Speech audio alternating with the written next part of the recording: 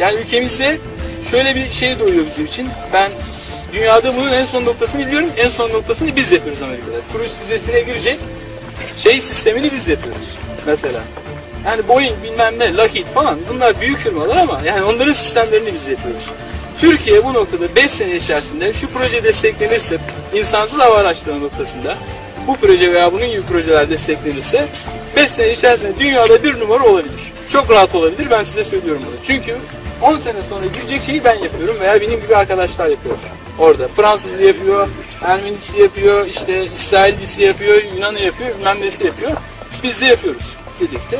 5 sene içinde olur. Çok rahat olur ve Türkiye için büyük bir fırsat bunu yakalamak. Bu teknolojiyi yakalarsa bu teknoloji uzay mekiğine dünyanın en gelişmiş teknolojileri giriyor. Keza uçağın içine de dünyanın son bulunmuş teknolojiler giriyor. Bu teknolojiyi Türkiye yakalarsa diğer sanayiler de gelişir. Biz şu şey sensörünü, şu anteni Türkiye'de bulamıyoruz. Şu anten bir metal parçası 900 MHz bir tane bile yok Türkiye'de. Şunu ben yurt dışından almak zorunda değilim ama buna bir ihtiyaç olsa burada da üretilir. Çok basit bir anten bu. Hiçbir özelliği yok. Ama bütün bunların Yani- oluşması için böyle projeler çok kritik bence. Yani bu görüyorsunuz bizim insanımız bunları yapıyor. Benim bir sürü arkadaşım Amerika'nın ordusunun projelerinde burslu olarak çalışıyor. Bir sürü Türk arkadaşım. Fark etmiyor onlar için. Yani onlar için devşirme olduğundan Türk olmuş bilmem ne olmuş fark etmiyor.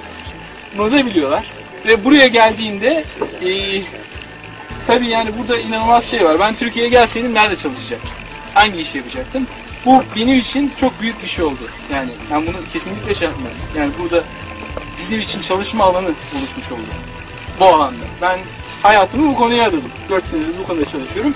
Benim yaşımda bu bu seviyede tecrübesi olan dünyada çok azdır. Yani yaşımda, daha ileriki yaşlarda vardır. Ama Türkiye'de mesela nasıl iş bulacaktım? Bu bize bir fırsat olmuş oldu. Bu yüzden eee destekleyen herkese gönülden eee teşekkürlerimi, sevgilerimi iletiyorum.